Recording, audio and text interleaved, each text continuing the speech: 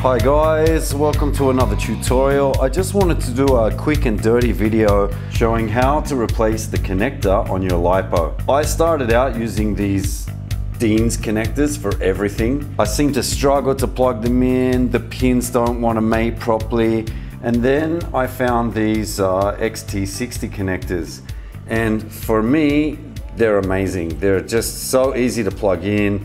They're rated to the same or slightly more current than the Dean's connectors, and I just like them a lot better. So I decided to start changing everything over to the XT60s. And I just bought a bunch of these. I think I bought um, 50 male and 50 female for like 10 bucks or something ridiculous.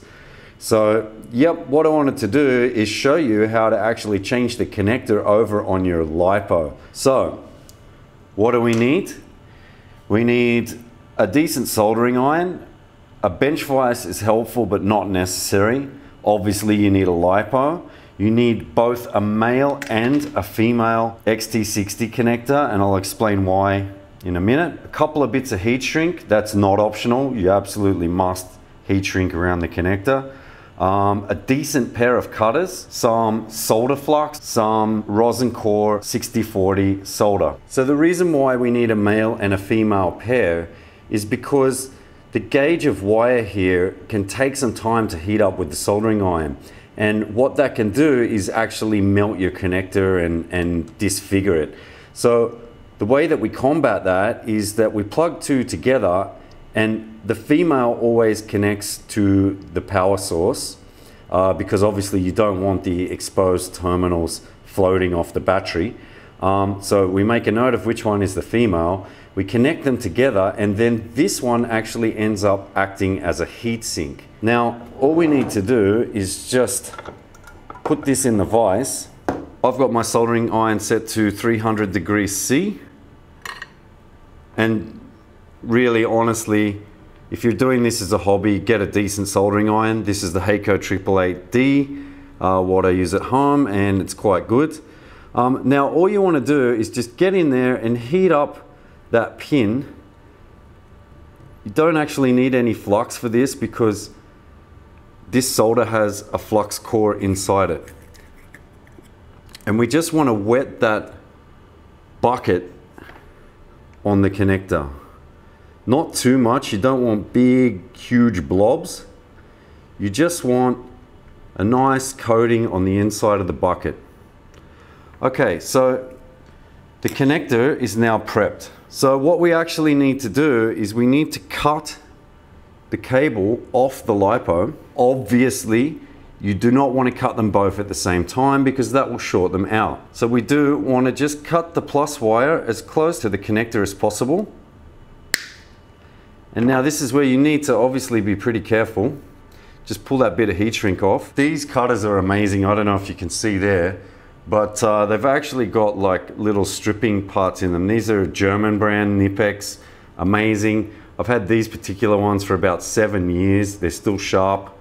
You can see how easy that is to strip.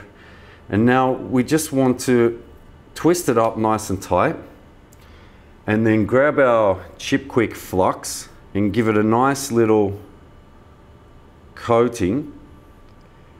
And what this is going to do is it's going to negate the need to heat the wire up too much. Basically, it's going to help the solder suck into the wire strands. Next we get our solder wire and just like bend it up in a way so that you don't really need a third hand for it. It's just already sitting in place.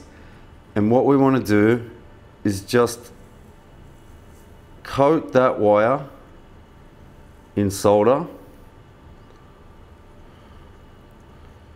so that the whole wire has got that soldery shine to it.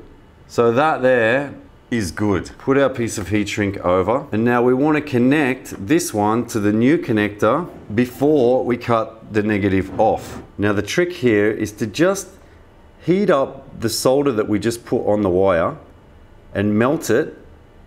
And then through that wire, we want to melt the solder that we put in the bucket of the connector. And it does take a little bit because the gauge of this wire is quite big. And there we go, I just felt it all coagulate. That is a great connection. I can give it a, give it a good pull and it's not going anywhere. Now we slide down the heat shrink and it is better to use a heat gun for this, but my heat gun's out on a job at the moment. I don't have it at home, so I'm just gonna do uh, ghetto style soldering iron heat shrinking, which I don't recommend, but hey, it's gonna get the job done today. We cut off the negative of the Deans. Goodbye Deans. And we strip our wire, make sure there's no little straggly bits. And basically now we just wanna repeat exactly what we just did and away we go. Uh, tip for the inexperienced, the smoke that comes off the flux is extremely bad for you. So you do not want to be breathing that stuff in. Make sure you've got good ventilation or at the very least you don't have your face in that stream of smoke that comes off it. Now we put our piece of black heat shrink on. I'm going to just tip this so you can see. And hopefully this one will give you a bit of a better view. And you can see that I'm just melting the solder through the wire. And once that's melted, then the heat transfers through to the connector. And it does get a bit hot to the touch, no doubt about that. And just shrink that down. And voila, now you have a LiPo with a new connector safely on it. Okay guys, I hope you got something out of that. If you did, subscribe to my channel, give me a thumbs up, and I'll see you on the next video. Cheers, see ya.